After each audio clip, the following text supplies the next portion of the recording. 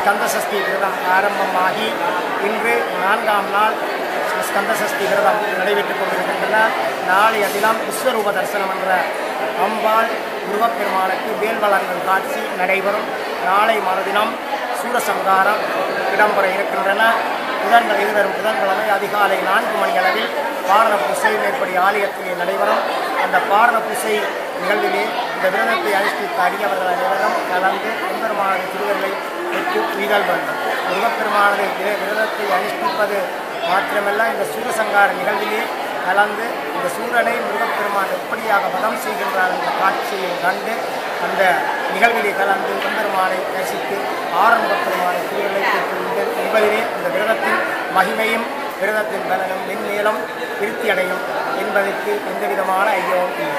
எல்லாம் வல்ல சித்தாண்டு பதிவு சித்திரவேலாகிய சிறப்பெருமான் திருப்பாளர்கள் பணிந்து யாழ்ப்பாணம் வடமராட்சி புதுப்பட்டி வடக்குப்பம் மந்தரை ஸ்ரீ மனோன்மணி அம்மாள் ஆலயத்தின் பிரதமகுருவாகவும் தான் கூடிக்காடு நிர்வத்தம்மனை தாண்டோமி விநாயகப் பெருமான் ஆலயத்தின் பிரதமகுருவாகவும் பாலகிருஷ்ண குருக்கள் ஆகிய நான் அங்கே சிவாச்சாரியாராக கடமை செய்து கொண்டிருக்கின்றேன்.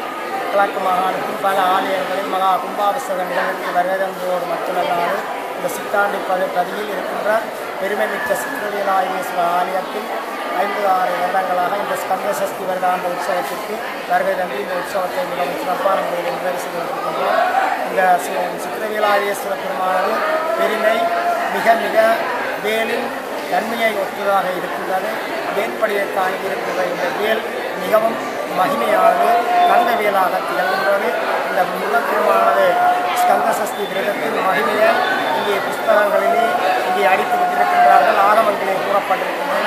அதற்கு அமைவாக இந்த விரத விரதத்தை அனுஷ்டித்து சித்திரவேலாயுத பெருமானசு திருவருளை பெற்று முடிய வேண்டும் முருகப்பெருமானின் திருவிளையாடல்கள் இங்கே கந்தபுராணத்திலே தினமும் இங்கே கந்தபுராணம் நடைபெறுகின்றது. அந்த வருகின்ற பயன் பாடல்களை பெற்று அதிலே வருகின்ற அறிவுகளை பெற்று நமது சைவ சமய மக்கள் மென்மேலும் வளர்ச்சி அடைய வேண்டும். அது மட்டுமல்ல இந்த சித்தாண்டு பதிவில் இருக்கின்ற சித்திரவேலாயேஸ்வரர் ஆலயத்தின் முன்பு பூசை செய்தவர்கள் நமது கனடாவிலைச் சேர்ந்த குமாரசாமி பரம்பரையினர் அவர்களது பரம்பரையில் வந்து முடித்தவர்கள் தான் நான் அந்த வகையிலே இந்த ஆலயத்திலே நடைபெறுகின்ற உற்சவங்களை அணியன் வந்து செய்வதற்கு மிகவும் மகிழ்வடைகின்றேன் இந்த உலகத்திலே நாட்டிலே சாந்தி சமாதானம் ஏற்பட்டு அனைத்து மக்களும் சகல ஜென்மராசிகளோடும் அனைத்து அஷ்ட ஐஸ்வர்யங்களோடும் வாழ்வதற்கு சித்திரவிகாயேஸ்வரர் பெருமானமும் திருவரும் என்றென்றும் அனைவருக்கும் கிடைக்க வேண்டும் என்று बड़ी है नल्ला लोगा संस्था श्री नवा